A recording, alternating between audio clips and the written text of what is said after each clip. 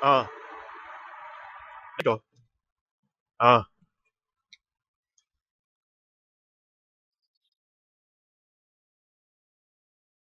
Sera.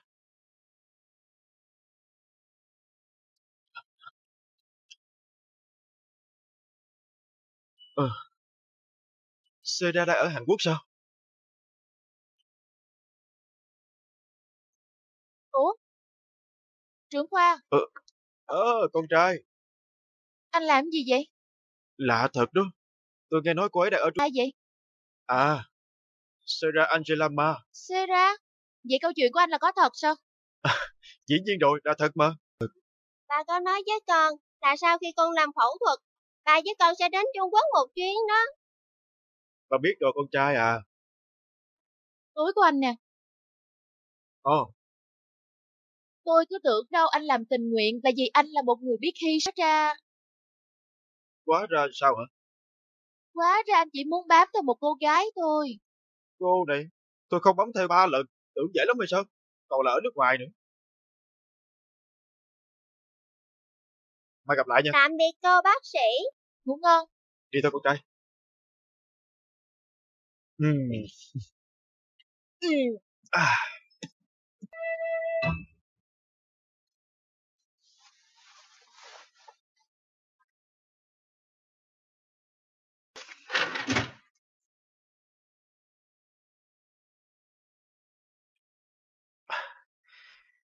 Không tin.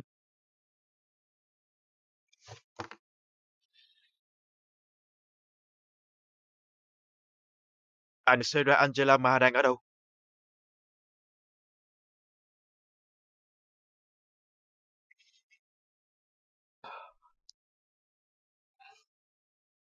Gì đây? Trời ơi ông Sơ nè, ông đã nói là mình sẽ suy nghĩ về chuyện đó có phải đó để tụi nó nuôi hy vọng hả? Lẽ ra ông cần phải cắt đứt ngay, dập tắt hy vọng tụi nó chứ. Ai nói với bà vậy? Ai nói tôi sẽ suy nghĩ chuyện đó? Thì cái tôi, nó là ông sẽ suy nghĩ về chuyện hai đứa nó, như vậy không được đâu. Ông phải biết không thể lùi bước như vậy được, ông đổi ý rồi hay sao? Bà không biết tình cảnh của chúng tôi hiện giờ hay sao vậy hả? Ở đây, tôi sắp cắt đứt quan hệ với con trai của tôi rồi, con gái của bà đó. Ôi trời, thật vậy đó hả? Vậy là tốt lắm, ông làm rất tốt đó. Sao bà có thể nói như vậy chứ? Con gái của bà mà tôi đã phải cắn răng bấm bụng nói những lời cay nghiệt với nó. Bà coi chừng con gái của mình đi. Ừ.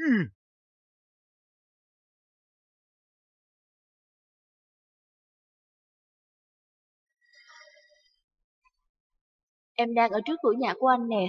Ủa? Em có mua cháo cho ba của anh nữa đó. Không được rồi Yên Sơn. Chào em My. Ừ. Sao chị còn dám tới đây nữa? Ba ơi ba, chị ấy tới rồi, nhóm trượt. À, ờ, chị đến là để gửi cái này cho ba của em. Không.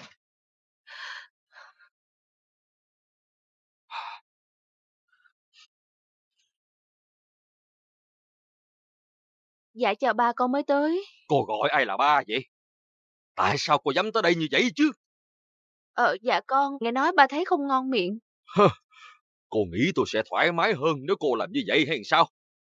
Con trai tôi bỏ nhà đi cũng là vì cô, con tôi. Cô tới đây để coi chúng tôi cãi nhau ra sao hả? Dạ? Anh chân cưng bỏ nhà đi rồi sao? Coi chị ta không biết xấu hổ chưa kìa giả bộ đó. Con thực sự không biết gì đâu. Dù sao thì tôi cũng muốn cô chia tay với con trai của tôi đi. Tại sao cô dám mặt dày quyến rũ nó như... Giờ cô lập tức buông tha cho trên kinh liền đi. Ba, ba hãy thôi đi. Cái thằng này, Thật ra Yên Sơn không có lỗi gì hết. Ba cứ nói với con nè. cái gì? Ba đã từng luôn rất rộng luôn đứng ra đấu tranh về công lý nữa. Nhưng giờ, ba không cố gắng để hiểu bất cứ chuyện gì và đổ hết lỗi cho Yên Sơn về tất cả mọi chuyện. Không vậy nữa đó. Nhìn những hành động này của con. Không biết con có phải là con của ba hay không nữa. Con cư xử không khác gì sầm mắt với ba chỉ vì một đứa con gái hả?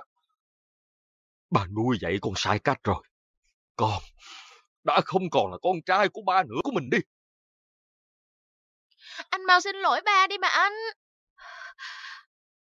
Dạ con xin lỗi thưa ba. Ba chân thành mà ba. Xin ba hãy hiểu cho tụi con. Hiểu hả? Hiểu cái gì mà hiểu chứ? Cô ra khỏi nhà tôi nghe quyến rũ con trai của tôi. Dạ. Con cũng sẽ đi thưa ba. Nếu con định đi, thì hãy nhớ cho rõ một điều này. Nếu bây giờ con bước ra khỏi đây, thì đây làm đám dỗ cho mẹ con đâu.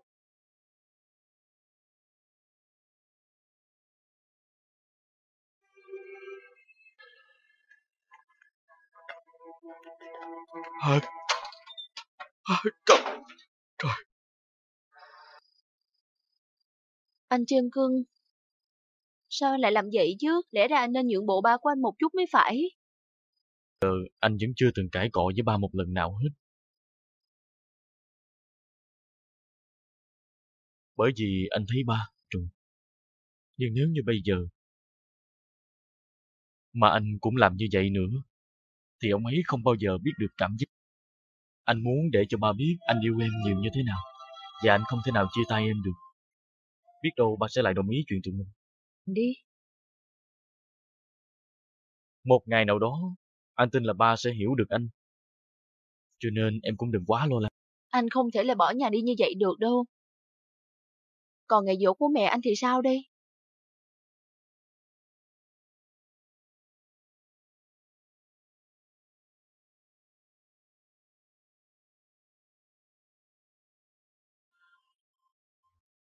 Ôi trời ơi, phát điên như một đứa con gái là vậy sao? Ôi trời, nó không giống đứa con mà mình từng... Tại sao cô ta lại dám? Sao chứ? Sao cô ta lại dám tới tận đây? Ôi trời. Alo ông Sơ hả? Hả? Con gái tôi làm... Con trai của tôi, mà chỉ cần lo về con gái của bà thôi. Con gái của bà còn tìm cách bước chân vào tận nhà tôi, tôi vừa mới đuổi cô ta ra khỏi nhà. Ông nói Yên Sơn nhà tôi mới đến nhà ông. Tôi đã nói rồi còn gì. Tôi đây, thậm chí còn mặt lạnh rồi đuổi con trai của tôi ra khỏi nhà. Con trai tôi chỉ vì con gái của bà đó. Bà có biết con gái của bà đang làm ra những trò gì ảnh hưởng tới con trai của tôi không? Khi nào nó về tới, tôi sẽ làm cho nó một trận ngay lập tức. Được, ông đừng lo chuyện đó.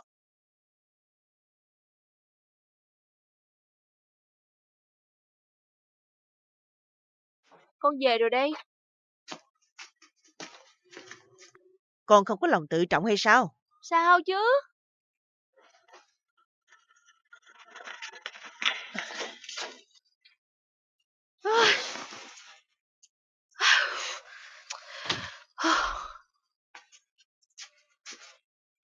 Tại sao con lại tới nhà ông Sơ? Ông ta đã nói là sẽ suy nghĩ rồi còn gì. Con bị đuổi đi vì đem thứ đó cho ông ta phải không? Mẹ ra khỏi phòng con có được không vậy? Sao con lại không nghe lời mẹ chứ? Con qua đó để làm gì? Con tưởng ông đó đâu. Ông ta mà mở rộng vòng tay hả? Thì tại vì con nghe nói là chú ấy mấy ngày nay không ăn uống gì nên con mới định đem trái cho chú ấy thôi mà mẹ. Tại sao có cho ông ta? Nè, chuyện đó có gì là không tốt chứ. Con không có làm gì sai hết, ha? Con đúng phải không ba? Trời này chứ. Cho dù con có làm việc tốt thì ông ta cũng vẫn ghét bỏ những gì con đã làm thôi.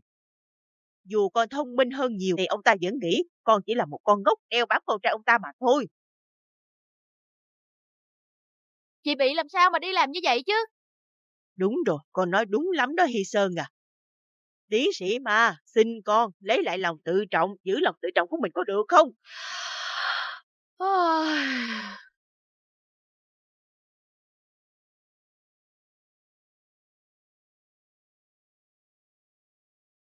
Em nghe đi.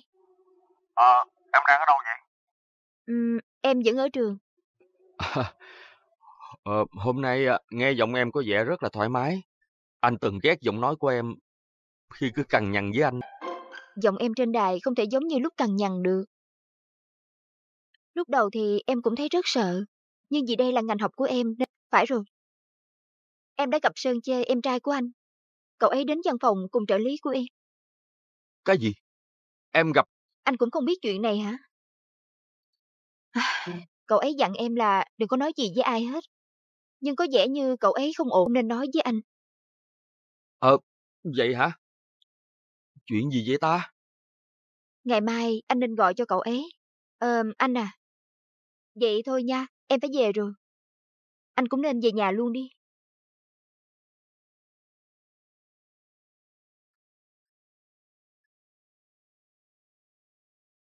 Ủa? Công chúa băng giá... Ây, chỗ này vậy không được rồi. Chúng ta ra ngoài đi. Ừ, đi đâu? Giờ tôi phải về nhà rồi. Nè, cậu giờ trễ có một lần, đâu có ai quan tâm đâu. Hả? Ờ... Đi thôi. Ờ, đ- đ- ờ,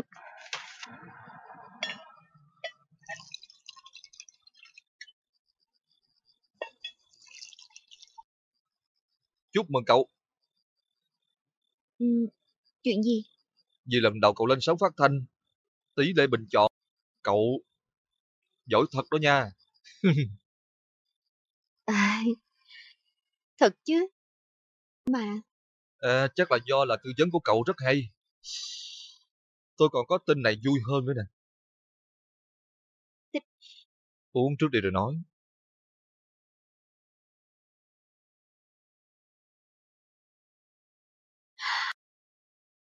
Chúng tôi đưa khiêu vũ cùng giáo sư ma làm thành chương trình thường xuyên.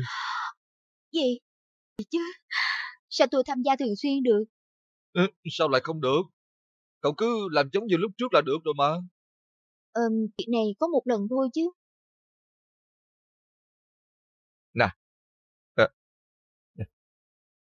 Mấy cái này tất cả đều là của thính giả gửi đến cho cậu hết đó. Chỉ mới làm thì không bình thường được đâu. Tôi không nghĩ việc này Vậy công việc gì phù hợp với cậu?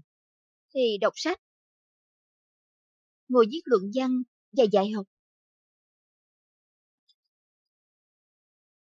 Nè Chi Sơn, cậu nên xóa bỏ cái bóng của mình đi được không? Của tôi... Tôi còn cảm thấy sợ. Bản chất của nó Tôi thấy tò mò rồi đó nha.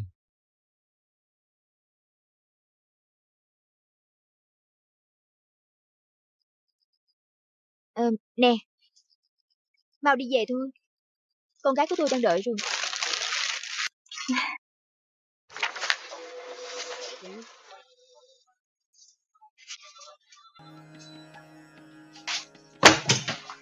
Nè anh Sơ, ra đây gặp tôi. Ờ, ờ, được. Không thể tin nổi hai người này. Chắc chắn là họ đang hẹn hò. Tôi biết mà Trước kia họ cứ cãi nhau như chó với mèo vậy đó Chuyện này đâu Anh không ăn sáng đúng không vậy? Anh ờ, ăn rồi, anh ăn mì ăn liền. Sẽ về nhà dỗ mẹ chứ. Ờ, anh sẽ về mà. Rồi nè,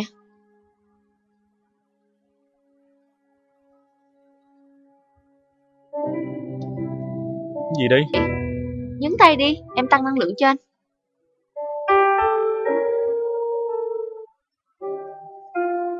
Em biết anh đang gặp khó khăn, nhưng mà đó là lẽ thường. Em sẽ không gục ngã. Em tự tin, hãy tin vào em đi, em đi, tin em đi nha. Em hát hay thiết ghê luôn á. Thú vị thiệt đó Trời nha ơi! Được rồi, là của cô đây. Dạ cảm ơn ông. Dạ không có gì. Dạ. Dạ. Ơ trời ơi, ông Sơ đó hả? Cuối cùng ông tới rồi. Ôi, Ê, nhưng đã có ông ở đây rồi. à, thì dĩ nhiên rồi, tôi đến làm việc mà. Đây nè, ông phải viết mấy hợp đồng này đi. Ờ, Ê, chuyện này, à, ông Sơ, ông có thể để mặt tụi nhỏ nó đi. để mặc cho tụi nó hả? Đã lớn rồi, ha. À, ông cũng sẽ có một cô con dâu có bằng tiến sĩ. Con bé nhà tôi là một đứa con gái rất tốt. Thôi, ông cứ đóng cửa rồi về nhà đi. À, trùm đội trưởng ma, tôi sẽ gửi ông tiền lương tháng này nha. Nếu ông muốn, Ơi. Ông đi nữa hả? hôm nay là ngày dỗ của vợ tôi đó. Tôi phải đi chợ đây. Hừ, ông coi, cho tôi, nhưng nó bỏ nhà đi chỉ vì một đứa con gái. Hả? Nó đã bỏ nhà đi rồi, còn nói là sẽ không về ăn. Trời đất ơi!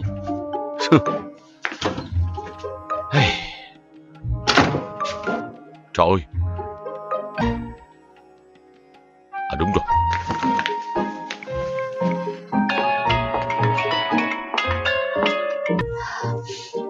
Alo ba, à, Ngày hôm nay. Con có biết không? À phải rồi. Sẽ không về làm dỗ cho mẹ nó sao dạ, nhưng anh ấy sẽ về nhà làm lễ. Nhưng con có biết nấu ăn gì đâu. Nhưng mà con cũng nên ghi vài điểm tốt trước mặt ông Sơ chứ. Ông ấy không phải là người khó tính. Nếu mà con làm tốt á Con đó Con còn giúp ông ấy làm lành với con trai của mình nữa. Tất cả những gì con làm Là phải nấu ăn bằng thành ý. À mà phải rồi Đừng có Con cần phải à, tự nấu hết nha. À lần này à, nghe lời ba đi Biết chưa? Dạ con biết rồi ba.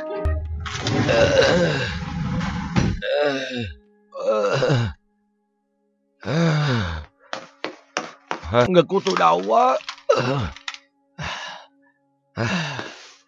Để tôi xem.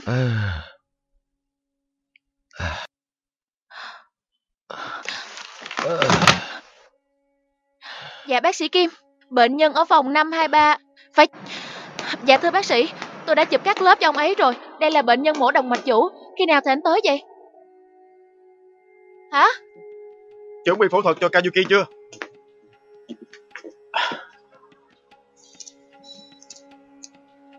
Đã sẵn sàng phẫu thuật rồi, máu dự phòng đầy đủ. Người giám hộ đã đồng ý làm phẫu thuật. chúng ta có thể bắt đầu ngay chứ? Dạ. Nhưng mà anh sẽ trực tiếp làm phẫu thuật.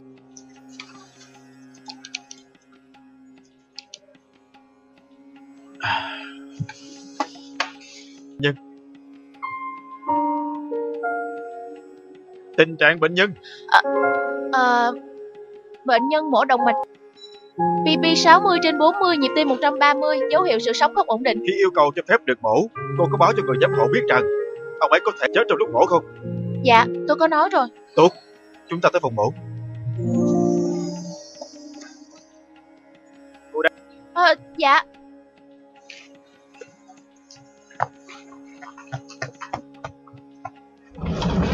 Con đã về rồi đây.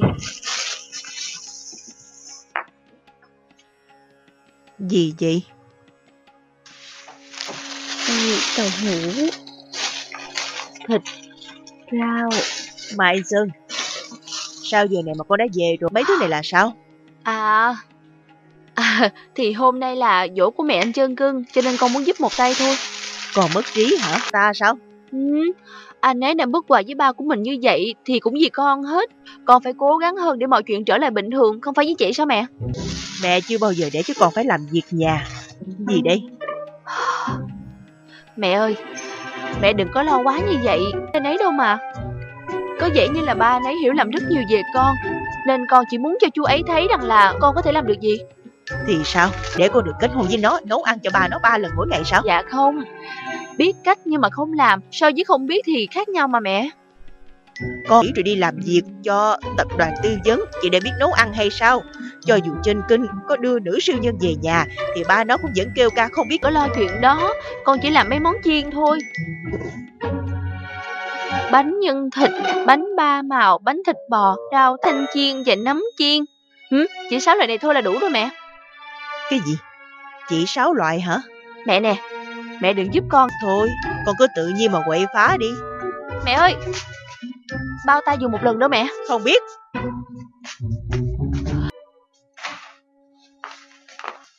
Cô làm tốt lắm bác sĩ Ma. Suy nghĩ về cách cứu chữa nhanh nhẹn kịp thời của cô đã cứu được bệnh nhân rồi. Làm tốt lắm.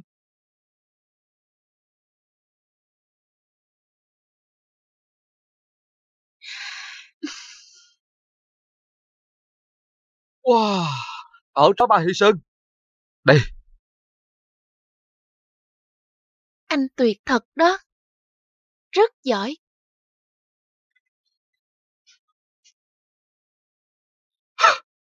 cuối cùng cũng nhận ra giá trị của mình hả? Cô Ma Hy Sơn hạnh yêu của anh. Hy Sơn à! Hy Sơn! Hy Sơn à! Mẹ em không có em nên hẹn hò với anh không? Mẹ tôi không hề nói gì hết. À, em đừng vậy mà. Anh đã nói với mẹ em rồi, nên anh đã lên kế hoạch hẹn hò cho một Hôm nay thứ mấy ta? Thứ ba. À thứ ba. À Hy Sơn à, đợi coi xong cái đã. À, giật ra hết buổi sáng rồi nên chúng ta... Nhóm tiếp thị bán hàng công ty may mặc JW.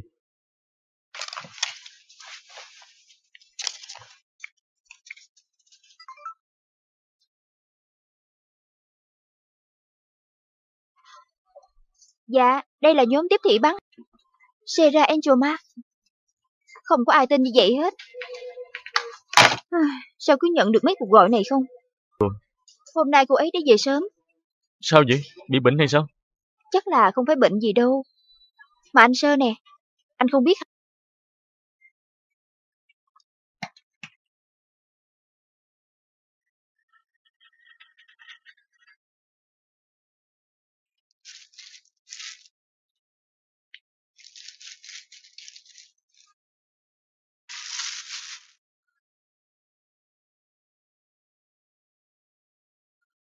Ờ... Ừ. ừm, À, ba ơi, anh hai không gọi điện về hả? Ba ơi, nếu như ai sẽ rót rượu? Con có thể làm việc đó mà, đừng có đợi anh con làm gì. Từ giờ, ba chỉ có một đứa con trai thôi. Là con trai lớn của ba nha. Ba đừng lo gì hết trơn á. Anh đừng có lo ăn bánh nữa. Gì, gì, gì? Đừng có ăn hết bánh mà. Em lo cho mình đi ha.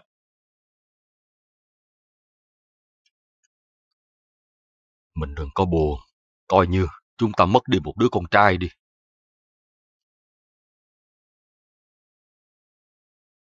Giảm giá lớn trong ngày. Ê.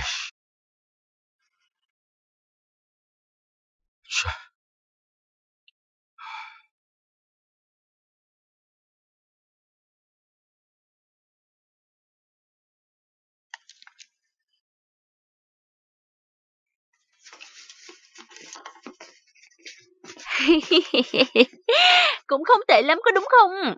Đây, mọi người thử một... Hử? Chị ơi, đây là món gì vậy? À, bí tẩm bột chiên. Còn đây là bánh cá đó. em giỏi quá, đúng là ngạc nhiên thật. Với người làm lần đầu thì không tệ. Em đi hết hả? Sao vậy? Không đẹp hả mẹ? Không có gì, mau lấy đi đi. Nhớ nói là con làm, đừng nói là mua đó. Thôi. Cố lên. Ờ, Tạm biệt em gái. chào chị. Wow, Sức mạnh của tình yêu thật là kỳ diệu mà. Đừng có nực cười như vậy. Sức mạnh hả? Hơi. Nhìn cái đấu lộn xộn này đi. Ôi, Ôi trời.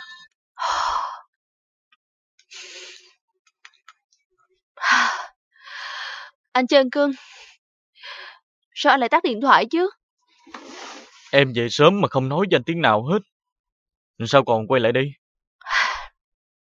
Anh cầm lấy cái này rồi về nhà mau đi. Đây là cái gì vậy? Cái này là lần đầu tiên em làm món ăn cho ngày em không nhờ mẹ giúp mà tự một mình làm luôn đó. Thiệt sao? Ừ,